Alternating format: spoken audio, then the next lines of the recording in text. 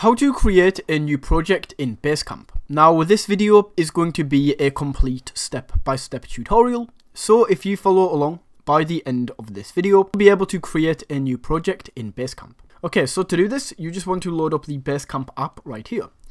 And once this is loaded up, all we are going to do is click into make a new project. Where it says name this project, you choose a name, so I will just call this test. You can also add a description, um, so enter that in there, what this, um, what this project is about. And then you can also add start and end dates if you would like. So let's say that this project starts today and ends at the end of the month. We can then go ahead and click create this date. And then as you can see, we are now taken through to this screen. So we basically choose what we want to go with. So we can go for message board, to-dos, docs and files, schedules, or campfire. So let's go for to-dos.